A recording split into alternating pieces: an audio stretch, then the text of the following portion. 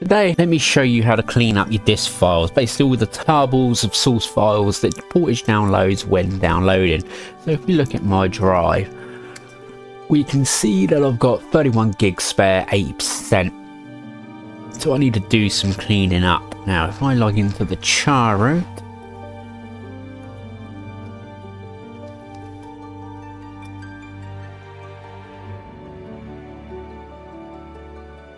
and do the h bar cache distfiles see I've got 3.8 gigs there.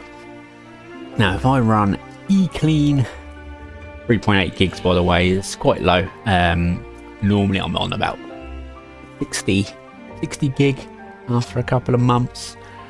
But if I run eclean disk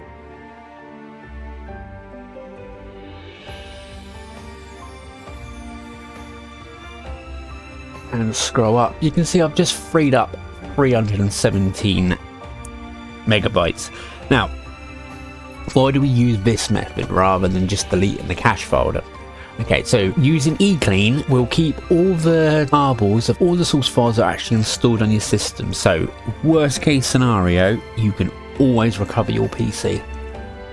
That's what this way is recommended because it's you basically you've got everything you need locally to repair that system. Um, there is also eClean package. We'll do a pretend on that one. And this one removes binaries.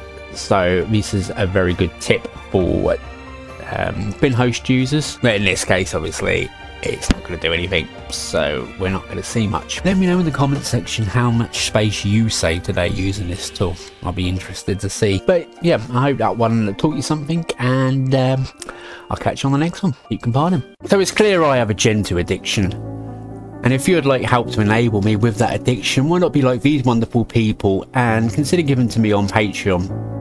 Um, this will help me get things such as new hardware, to make new videos for you, or coffee or vodka to get through the stress of dealing with things like um, hardware not working. Prices start at $1.